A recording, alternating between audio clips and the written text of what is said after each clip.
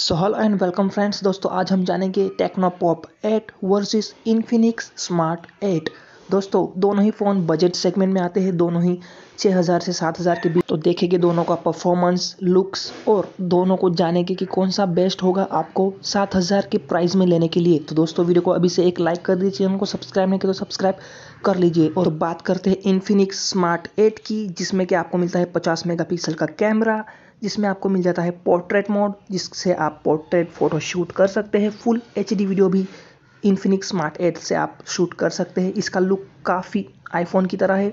इसमें बहुत ही कमाल का फीचर है ये मैजिक रिंग जो कि आईफोन से रिलेटेड है। आईफोन से मिलती जुलती रिंग है, जो कि बहुत ही अच्छा फीचर है। लुक्स भी काफ़ी अच्छा आ जाता है। इसमें आपको मिल जाता है 50 मेगापिक्सल का कैमरा तो दोस्तों, बात करते हैं टेक्नोपॉप 8 की, जो कि स्टाइलिश है। ये भी आईफोन की तरह ही दिखता है और इसमें भी आपको मिल जाता है डायनामिक पोर्ट जिस दोनों ही फ़ोन में सेम पोर्ट मिलता है, लेकिन उनका नाम बदल दिया गया है। लेकिन ये दिखने में काफ़ी अच्छा है। ऑक्टा कोर प्रोसेसर के साथ टेक्नोपॉप 8 आता है।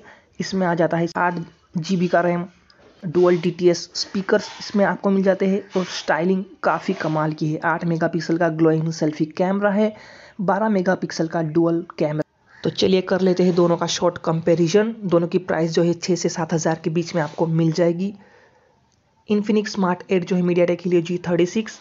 Unisoc T zero six जो है आपको टेक्नो में मिल जाता है। दोनों की स्क्रीन सेम सेम ही है। छः पॉइंट छः और छः पॉइंट साढ़े छः पचास मेगापिक्सल का इन्फिनिक्स में मिलता है। बारह मेगापिक्सल का टेक्नो में मिल जाता है।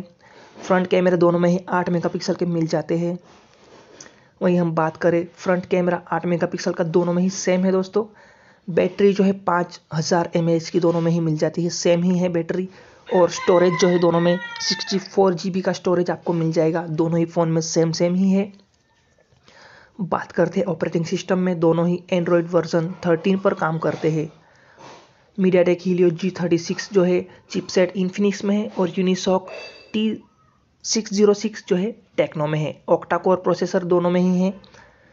चार जी बी की रैम आपको दोनों ही फ़ोन में मिल जाती है। चार जी बी की रैम का ऑप्शन भी है।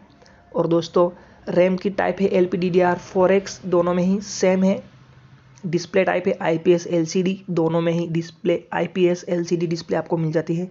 स्क्रीन साइज़ मैंने आपको बताई छः पॉइंट छः टेक, इन्फिनिक्स में है और टेक्नो में छः पॉइंट फिफ्टी सिक्स है मतलब कुछ ज़्यादा अंतर नहीं है।